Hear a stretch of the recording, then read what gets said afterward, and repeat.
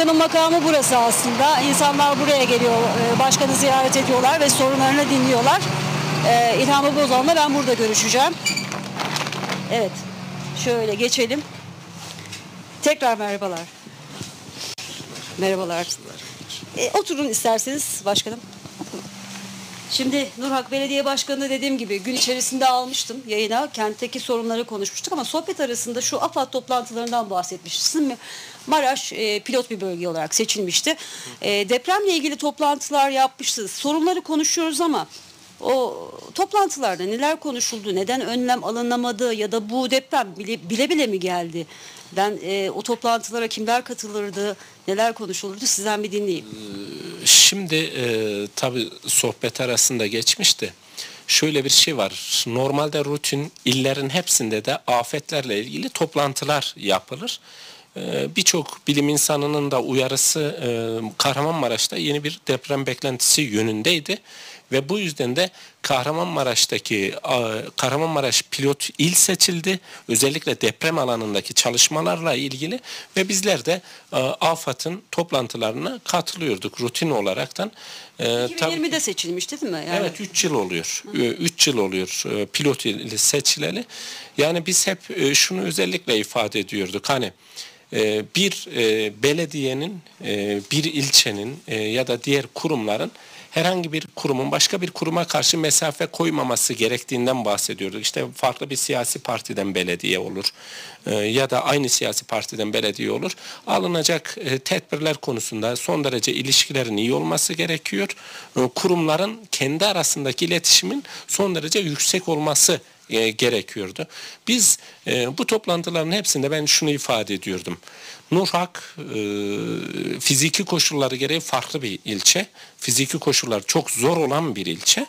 E, ve biz e, normal şartlarda zaten her yıl e, kar yağışı nedeniyle Nurhak'ta yollar kapanırdı ve biz Kahramanmaraş Büyükşehir Belediyesi'ne, AFAD'a özellikle şunu belirtirdik. Burada herhangi bir can kaybı yaşanmaması için gerekli olan tedbirleri almamız gerekiyor. Her sene e, bugün depremin ne zaman olacağını bilemeyiz tabii ki. Ama karın ne zaman yağacağını %95'in üzerinde tahmin edebiliyoruz. Ve biz şunu söylüyorduk. Kar yağışı olacağı zaman Nuhrak'ta iş makineleri bekletilsin diye ısrarla ben altını çiziyordum. Geçen sene son 23 yılın karı yağdığında belki şu an çok büyük acı yaşandıktan sonra bunları ifade etmek e, doğru gelmiyor gibi olabilir ama bizlerin defalarca söylemesine rağmen herhangi bir adım atılmaması ve şu anda da bizlerin depremin üstüne çok büyük acılar yaşamamızın en önemli sebeplerinden birisi de buradaki yolların kapalı olması olduğu için bazen ister istemez bunları ortaya koymamız gerekiyor bizim ve e, hep şunu ifade ediyorum. O kadar aslında doluyuz ki çünkü ifade defalarca ifade etmemize rağmen adımlar atılmaması bizimle iletişimin güçlendirilmemesinin sonucunu çok büyük şeylerle ödüyoruz. Evet. Şimdi biz de afet toplantılarında normal kar yağışının öncelikle tedbirlerinin alınması gerektiğini söylüyorduk. Deprem içinde yine aynı şekilde Nuhrak merkeze 200 kilometre uzaklıkta bir ilçe. Depreme de ulaşmak buraya aynı anda ulaşmanın zor olduğunu hepimiz biliyoruz. E ne yapılması gerekiyor? Ulaşılması çok zor olan yerlerin kendi içinde kendi kendine ilk etapta yetebilecek önlemlerin alınması gerekiyordu. Defalarca toplantı yaptık AFAD'ın 4 yıldır toplantısına gidip geliyoruz. 3 yıldır pilot il seçilmiş. Peki sonuç? Hiçbir adımın ilerlemenin diyeyim olmadığını gördük. Şu kurum şu kadar ilerlemiş, bu kurum bu kadar ilerlemiş diye toplantılar yapıyorduk. Peki bu talepleriniz neden karşılık bulmuyordu? Neydi? Ee, şimdi e, şunu söyleyeyim. Biz e, e, geçen yılda zannedersem bir e, Büyükşehir Belediyesi ile e, meclisinde şunu ifade etmiştim ben. Siz farklı bir siyasi partidir diye mesafenizi koymayın. Yarın bir gün bir şey olduğunda hepimiz de halkımıza karşı ciddi sorumluluklarımız olacak ve bunların hiç kimse hesabını veremeyecek diye. Maalesef e, farklı bir siyasi partiden olduğu zaman e, ciddi mesafeler konuyor.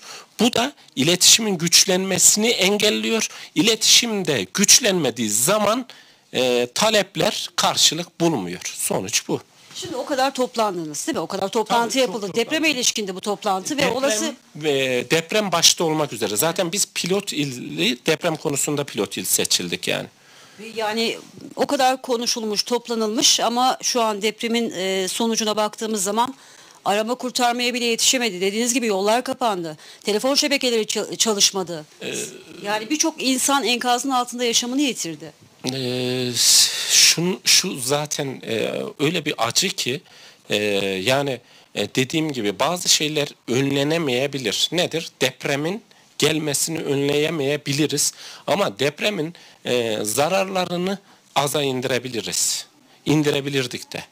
Yani maalesef ve e, her kurum e, kendi üzerine düşeni e, yapmalıydı. E, Yapma e, yapılmadığı için de bu e, zararlar, e, bu acılar maalesef arttı. Şeyi de sormak istiyorum. Tabii bu toplantılara vali, büyükşehir belediyesi, kaymakam ve siz e, ilçe belediye başkanları mı müdürler. katılıyordunuz? Şöyle Ne kadar sürede yapılıyordu bu toplantı? Ee, şu bizlerin zaten rutin e, il koordinasyon toplantılarımız var her 3 ayda bir. Bunun dışında AFAD'ın yine e, aylık ve 2 aylık e, toplantıları oluyor. Buna e, ilçe yöneticileri, belediye başkanları, kaymakamlar, il müdürleri, e, valilik e, katılım gösteriyordu. E, ve bir, bunlar e, işte toplantıların bir önceki toplantıya göre yapılan ilerlemeler, değerlendirmeler yapılıyordu. Ve Sizlerden ne isteniyor belediyelerden? İsteniyor bu toplantılarda? Şimdi belediyelerin de yine e, kendi kamu binalarının güçlendirilmesi yönünde, ilçedeki hasarlı binalarla ilgili çalışmalar yapılması yönünde talepler oluyor tabii ki. Yalnız e, şurası bir e, sıkıntı ki e, yani ciddi bir bütçe katkısı sunulmadığı zaman hangi kurumdan ne isterseniz isteyin sonuçta çok bir ilerleme olmuyor. Mesela Belediye binanız şu an hasarlı mesela. Sizlerden Şöyle, istenen şöyle şunu söyleyeyim ben. Bizler mesela burada ne kadar e, bu kamu kurumları da başta olmak üzere e, yenileme yapmıyor iseniz ve buna ciddi bir kamu bütçesi ayırmıyorsanız bir anlamı olmuyor. Bizler biz ve bizim gibi e, kırsalı fazla olan ilçelerde insanların eski yapıların yenilenmesi gerekiyordu. Bunu biz defalarca ilettik. Peki yeni yapılarla ilgili ilçe belediyelerinin herhangi bir bütçe ayırması zorun ötesinde bir durumdu. Bunlar defalarca iletildi. Bakanlıklar başta olmak üzere. Çevre Şehircilik İklim Değişikliği Bakanlıkları Tabii da tabii. e, yetkilileri de o onlar- toplantıda. Tabii ki tabii ki. Onların e, dediğim gibi kamu kurumları düzeyinde, devlet kurumları düzeyinde ciddi bir bütçe ayrılması gerektiğini ifade ettik biz. Çünkü eski yapıları e, bugün hiçbir belediyenin bütçesi, bütün bütçenizi oraya ayırsanız bile ne e, onunla ilgili bir ilerleme zaten kaydedemezsiniz. O yüzden e, şey yapıyoruz. Bizler şu anda e, dile getiren bütün e, insanlar şunu söylüyor.